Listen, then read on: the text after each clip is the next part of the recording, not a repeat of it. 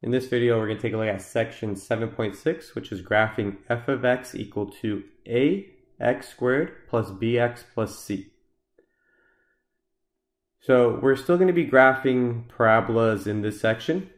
Now what we saw in section 7.5 was our function was in this form, f of x equal to a times x minus h squared and then plus k. So this is what we saw in section 7.5. Now in 7.6, our function is going to be of the form ax squared plus bx plus c.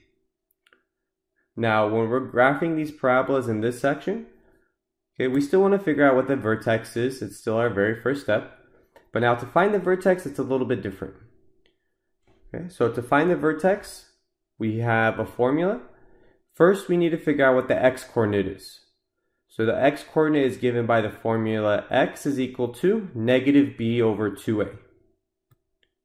Now, once we figure out what our x-coordinate is for our vertex, then we're going to plug it into our function to figure out what our y-coordinate is. Okay? Because remember, the vertex, it's an actual. And each point has the form of an ordered pair. You have your x-coordinate and then your y-coordinate. So this formula gives you the x-coordinate, and then you're going to plug it in, and it it'll give you what the y-coordinate is. Okay. Now, after we find the vertex, we still need some additional points. So those additional points are going to be our intercepts. So we're going to find the x and y intercept. So x-intercepts, you're going to set f of x equal to 0. In other words, set y equal to 0, so change y into a 0, and then solve for x. Now, y-intercept, you set x equal to 0 and then solved for y.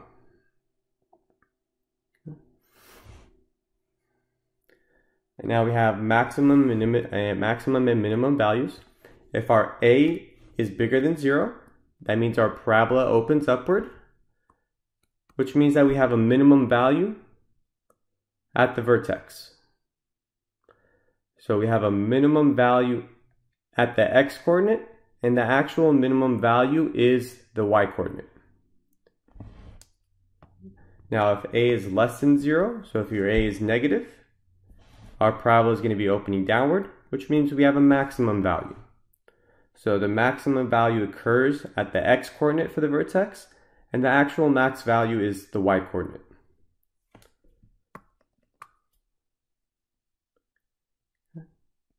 Let's take a look at an example. So graph the function by finding the vertex and the intercepts.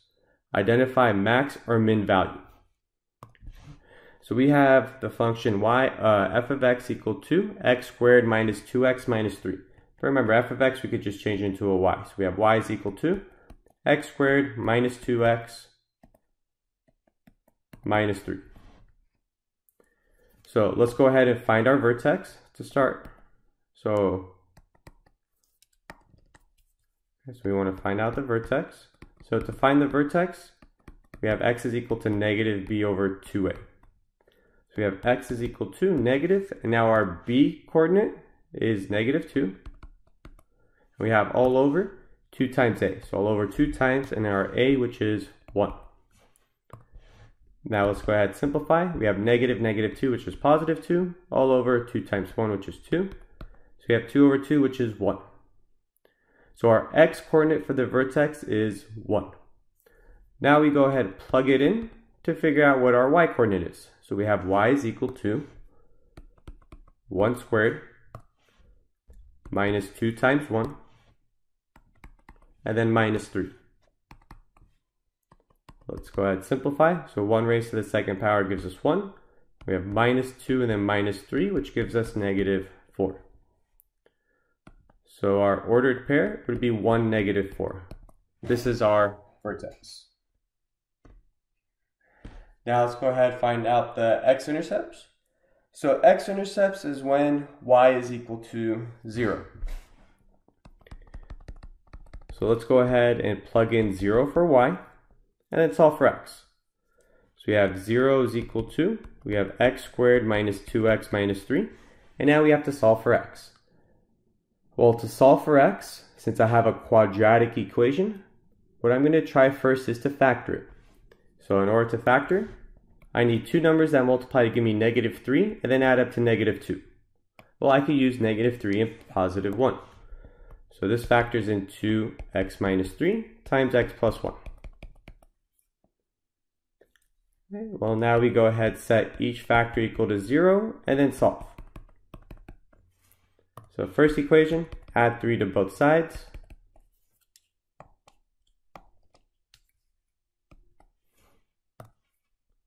Okay, so we get x is equal to 3.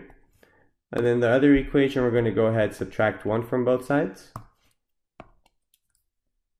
We get x is equal to negative 1. And now we have two x-intercepts. So we have 3 comma 0, and then we have negative 1 comma 0.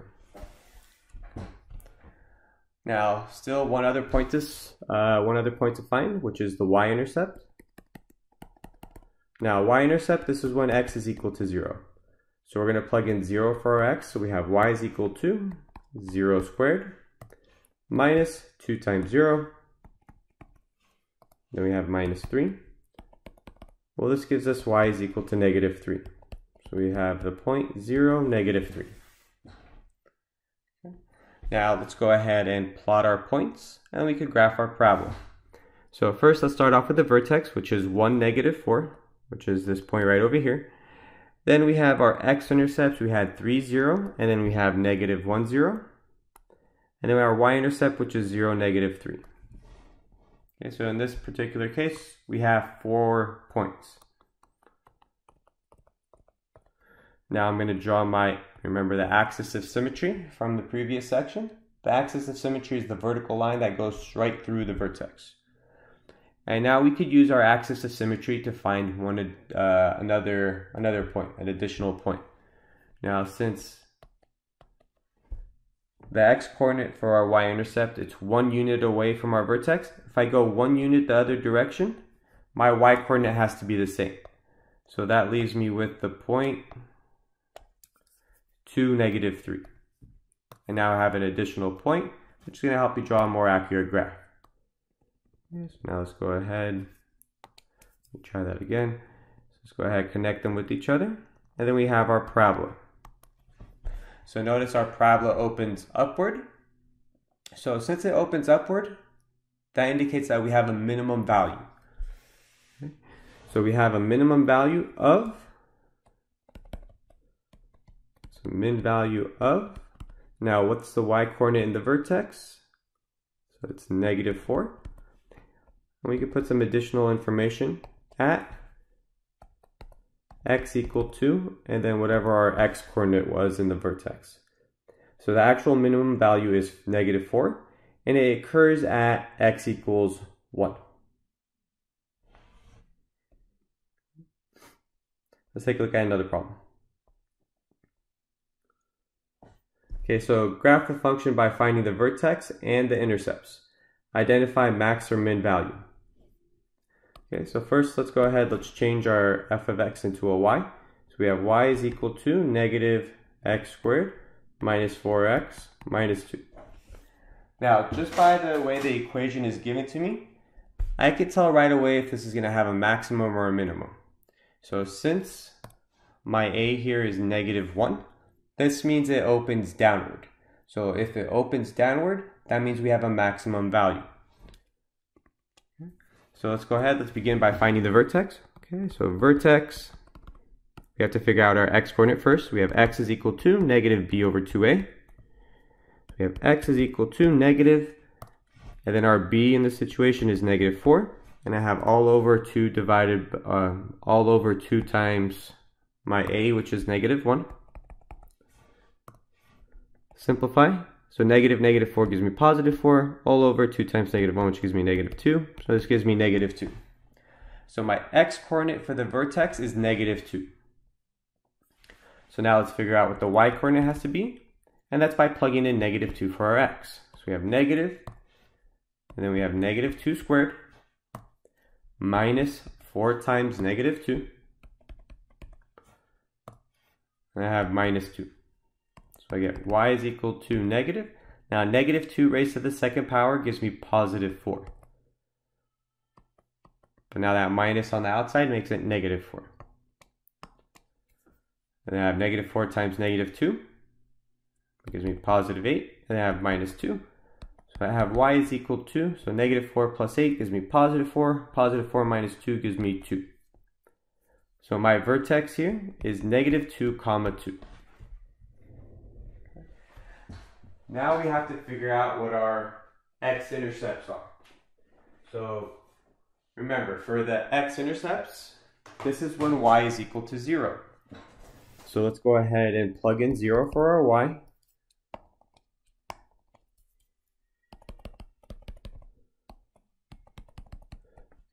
So if I plug in 0 for my y, I have 0 is equal to negative x squared minus 4x minus 2.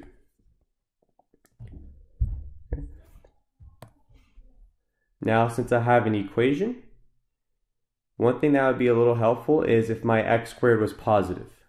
So what I could do here is I can multiply each term by negative 1, and I'll change it to positive. So I have negative 1 times 0, which is 0. And now all of my signs are going to change. So I have positive x squared plus 4x plus 2. Okay, well now I have this equation to solve. To solve this equation, first I would try to factor, but in order to factor this out, I need two numbers that multiply to give me positive 2 and then add up to 4, which is impossible. So I can't factor out the right hand side. So what I'm going to rely on is the quadratic formula. So I have x is equal to negative, and then my b, which is 4, and I have plus or minus the square root of b squared, so I have 4 squared, minus 4 times a, my a is 1, and then times c, which is 2. And I have all over 2a. So all over 2 times, and my a, which is 1. Now let's go ahead and simplify. We get x is equal to negative 4 plus or minus the square root of, so I have 4 raised to the second power, which gives me 16. And then negative 4 times 1 is negative 4, times 2 gives me negative 8. So I have 16 minus 8 all over 2. Continue to simplify, we get x is equal to negative 4 plus or minus the square root of 8 over 2. But this could even be simplified further, because in the square root of 8 I could simplify into 2 square root of 2, and I have divided by 2. And now since each one of these terms are divisible by 2, I could go ahead and divide them by 2 to simplify it even further. So 2 goes into 2 once, it goes into this 2 once, and it goes into 4 2 times. So I have x is equal to negative 2 plus or minus the square root of 2. Now this gives us two x-intercepts. One using each uh, sign. So we have the point negative 2 plus the square root of 2, comma 0. And then our other ordered pair would be negative 2 minus the square root of 2, comma 0. But now in order to identify where these are, we're going to have to actually just approximate it. So we have to put it into our calculator and get an approximation. So negative 2 plus the square root of 2. This gives us negative 0.58. It actually keeps going here, let's change this to, I'm going to route to two decimal places, which gives me negative 0.59. And then my other x-intercept, let's put comma 0. And then our other x-intercept, so negative 2 and then minus square root of 2.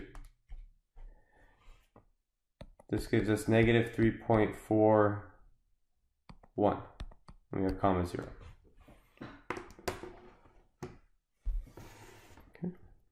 So now we've found our x-intercepts. Let's go ahead and figure out what the y-intercept is. Well, y-intercept, this is when x is equal to 0. So let's go ahead and plug in 0 for our x, and then solve for y. So we have y is equal to negative, and then 0 squared, minus 4 times 0, and then we have minus 2. So if we simplify all this, this gives me y equal to negative 2. So my ordered pair here is 0, negative 2. So let's go ahead and plot these points. So let's start with the vertex. So negative 2 comma 2, which is this point right over here. Now my x-intercepts, remember we had to approximate where they were because they gave us decimals. So we had negative 0.590. So negative 0.590 is going to be between 0 and negative 1. Let's say about right there. And then the other one we had negative 3.41 comma 0, which is about right over here. And then we have a y-intercept of 0, negative 2. So 0, negative 2 is this point. And now remember, we could always use the axis of symmetry to find an additional point. Okay. So now since this point is 2 units away from my vertex, well, if I go 2 units the other direction, my y-coordinate has to be the same, which puts me at negative 4, negative 2. So now that helped me draw a more accurate graph. Now let's connect them with each other, and we get our parabola. Now notice since this parabola opens downward, we have a maximum value that occurs at the vertex. So in this case, we have a max value of the y coordinate, which is 2, at the x coordinate, which is negative 2.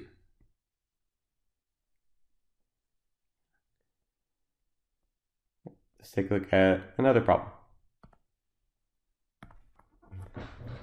Okay. Next example, graph the function by finding the vertex and the intercepts, and then identify max or min value. So this time we have the function f of x is equal to x squared minus 4x plus 7.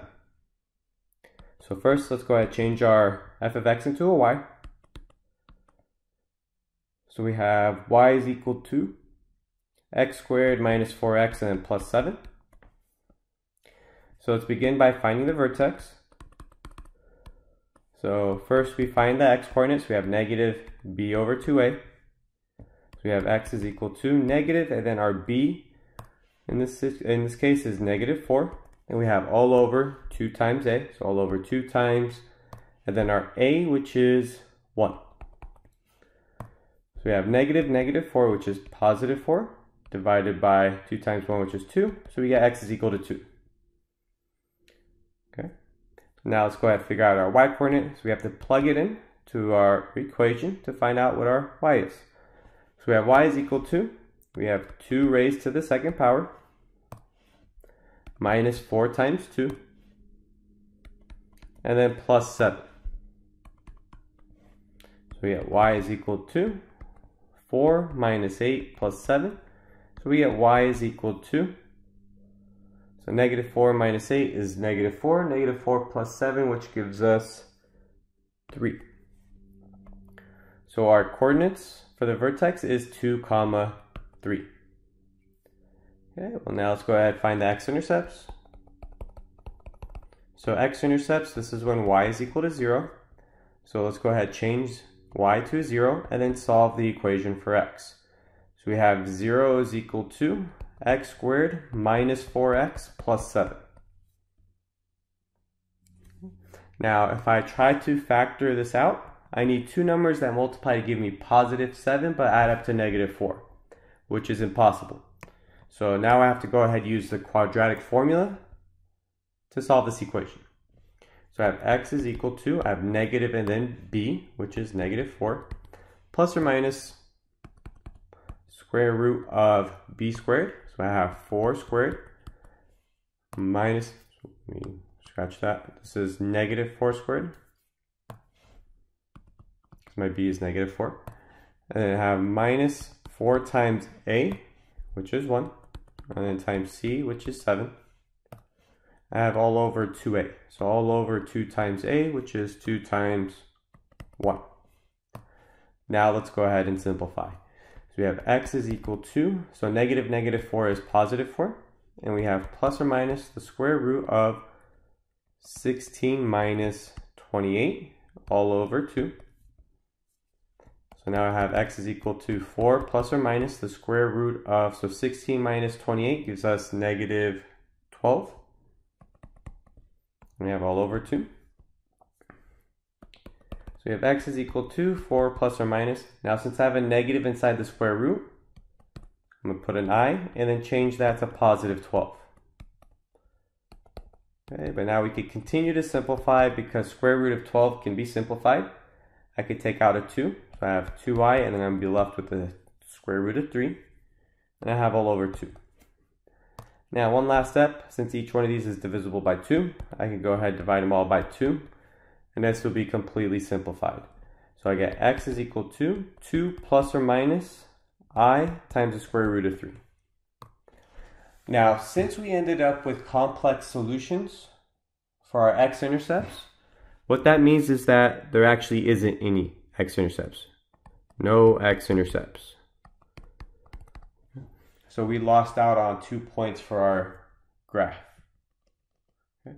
So whenever you're in the process for solving, or whenever you solve for your x, when you're trying to figure out your x-intercepts, if you end up with complex numbers, what that means is that there isn't any x-intercepts. Well, we could still figure out what the y-intercept is. So our y-intercept,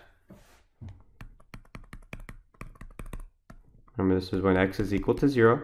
So let's go ahead and plug in 0 for x. So we're going to have 0 squared minus 4 times 0.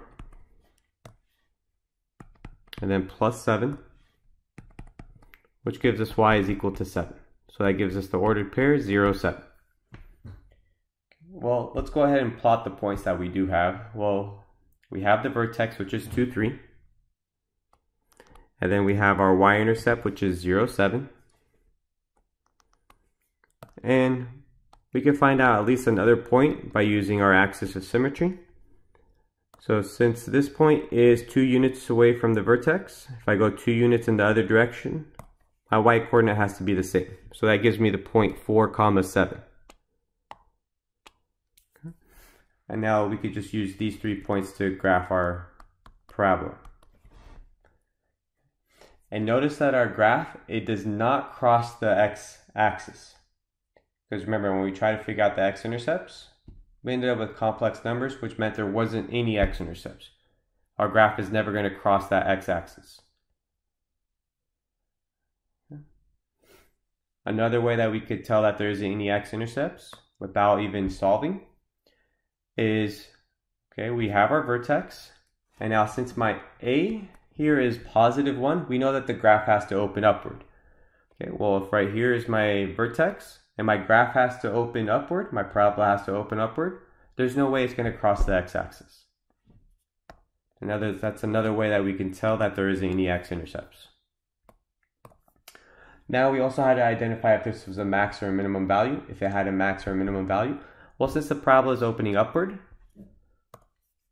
okay, we have a minimum value at the vertex. So we have a minimum value of, so we have a min value of, and then our y coordinate of the vertex, which was 3. And this occurs at x equals 2.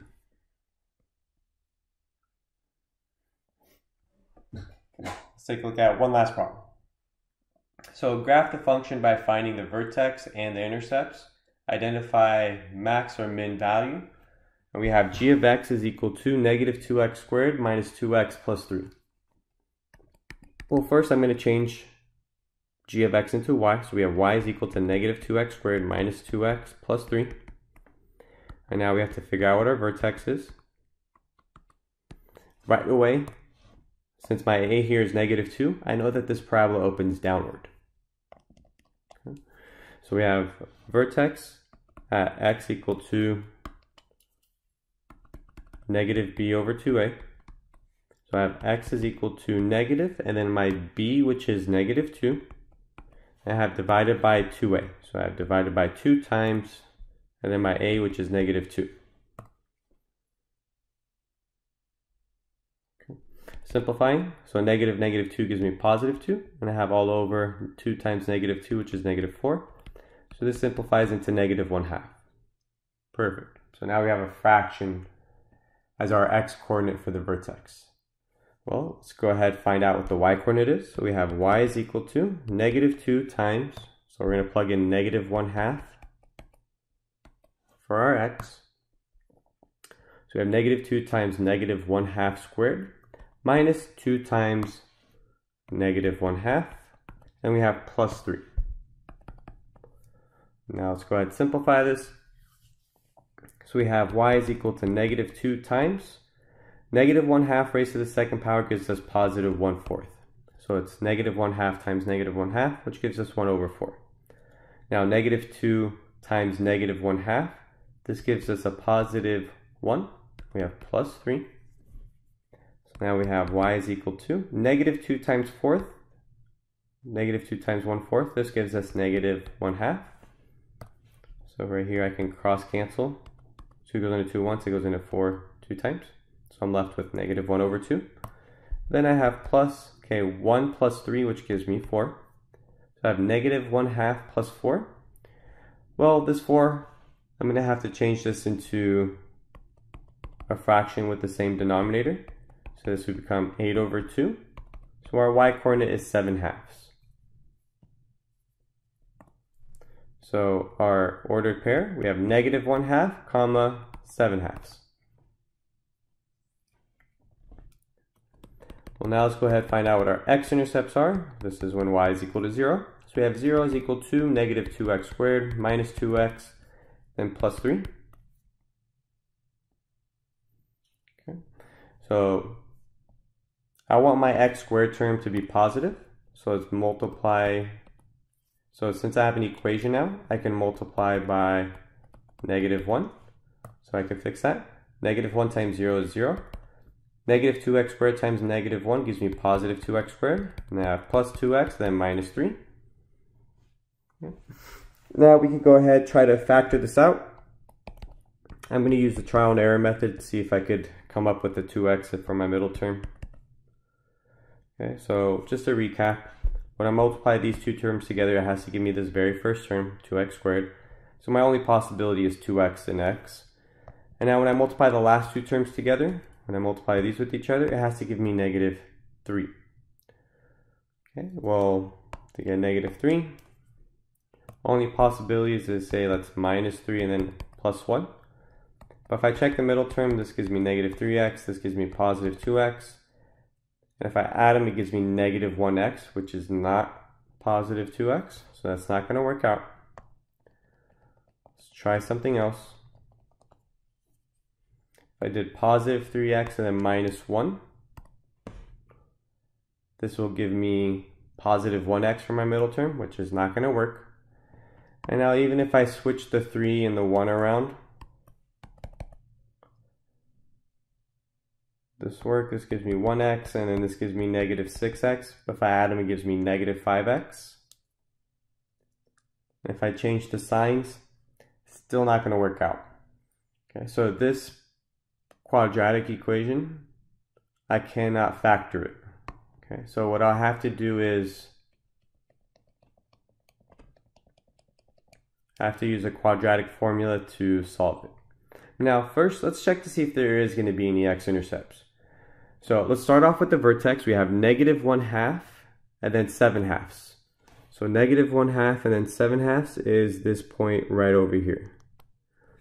And now our parabola, since our a is negative, since our a is negative, it has to open downward. So since it has to open downward, okay, our parabola will look something like this. Our parabola is going to look something like this, which means that we do have some x-intercepts. Okay, so let's figure out what the x-intercepts are. So we have, let's plug it into the quadratic formula. We have negative and then b. Our b in this case is 2. And I have plus or minus the square root of b squared. So I have 2 raised to the second power minus 4 times a. My a in this case is 2 times c, which is negative 3. And then I have all over 2a. So all over 2 times, and then my a, which is 2. Okay, let's go ahead and simplify. I get x is equal to negative 2 plus or minus the square root of 4 times, or 4, and then negative 4 times 2 is negative 8. Negative 8 times negative 3 gives me positive 24. Then I have all over 2a. So my a was 2, so I have 2 times 2, which gives me 4. Now let's simplify. We get x is equal to negative 2 plus or minus the square root of 4 plus 24 gives me 28. And I have all over 4. Now square root of 28, I could simplify it. So I have x is equal to negative 2 plus or minus. Now square root of 28, I'll be able to take out a 2 from there. And I'll be left with square root of 7. I have all over 4. And now simplifying, since each one of these terms can be divided, uh, divided by 2, I can go ahead and divide them all by 2. So 2 goes into 2 once, it goes into 2 once, and it goes into 4 two times. So let's go up here. So I have x is equal to, I have negative 1 plus or minus the square root of 7 over 2. So now remember this gives me two x-intercepts. So I have negative 1 plus the square root of 7 over 2. Square root of 7 over 2, then comma 0. And then my other one is negative 1 minus the square root of 7 over 2, comma 0. Okay. But now, these points, I don't know where they are on the graph. So let's go ahead and put into our calculator so we get an approximation. So negative 1 plus the square root of 7. I'm going to get a result for that, and then I'm going to divide that by 2. So this gives me 0 0.82. And then my other x-intercept, negative 1 minus, and then the square root of 7. I have a result, and then dividing that by 2, I get negative 1.82. Okay, so now I have my x-intercepts. Well, now let's go ahead and figure out what our y-intercept is. So y-intercept, this is when x is equal to 0. So if I plug in 0 for my x, I get y is equal to negative 2 times 0 squared minus 2 times 0. And then I have plus 3. So I get y is equal to 3. So that gives me the ordered pair 0, comma 3. Okay, now let's plot our points and then we could draw our problem. So we already drew our vertex, negative 1 half and then 7 halves. 7 halves is the same as 3 and 1 half. Now our x-intercepts, we had negative 1.82, which is about that point right there. And then we had 0.82, which is about right over here. And then we had the y-intercept, which was 0, 3. Okay. Well, now we could also use the axis of symmetry to find another point. So axis of symmetry goes through the vertex. So I'm going to use the y-intercept. I'm going to use the axis of symmetry to get an additional point from that. I get the point negative 1 comma 3. Now let's go ahead and connect them with each other. We have our graph.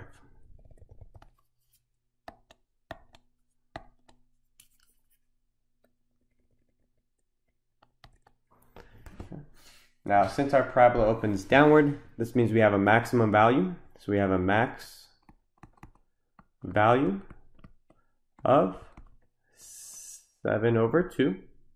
And this occurs at x equal to negative 1 half.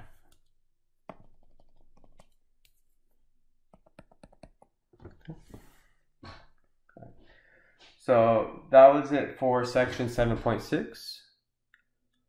Remember, if you have any questions, don't hesitate. Just email me and I can help you out.